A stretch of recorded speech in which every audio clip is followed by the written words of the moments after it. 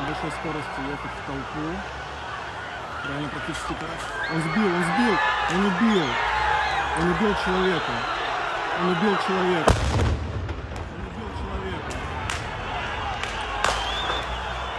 убил человека. Он убил человека.